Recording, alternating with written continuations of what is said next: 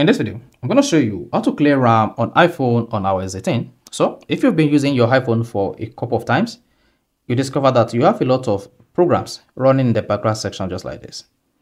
And it is not even advisable to close all this background section because this is going to require another battery level to open them on your iPhone. The only solution to this is just to clear your iPhone RAM. And here, I'm going to show you how to do this on iOS 18. So if the end of this video, you found this video helpful and informative, please don't forget to like and subscribe.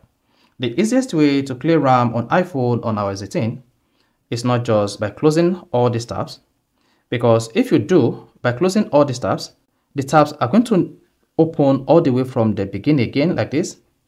You see that? So it's going to take time for this tab to open.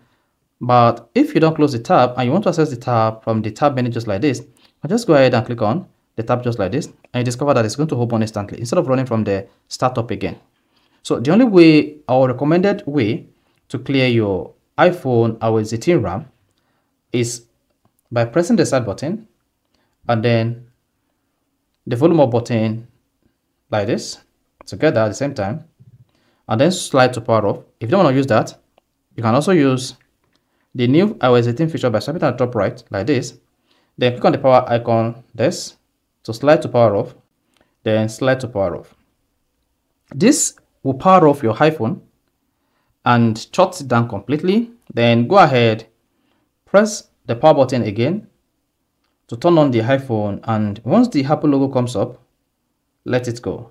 Now, once the Apple logo comes up, then let go of the side button. This is going to turn off your iPhone without deleting all the open tabs and then you can just pick it up from wherever you stopped. Then go ahead and unlock your iPhone.